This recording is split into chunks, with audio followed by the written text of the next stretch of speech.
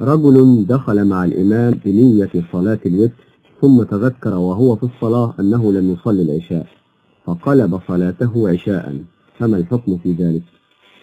إذا دخل الإنسان في صلاة نفل مع الإمام فلا يجوز له مطلقا أن يقلب النية إلى صلاة فرض والذي يصلي الوتر خلف الإمام ثم تذكر أنه لم يصلي العشاء فصلاته باطلة لأن وقت صلاة الوتر يدخل بعد صلاة العشاء وهو لم يصلها فصلاته للوتر باطلة وعليه أن يخرج من الصلاة مع الإمام ليصلي العشاء.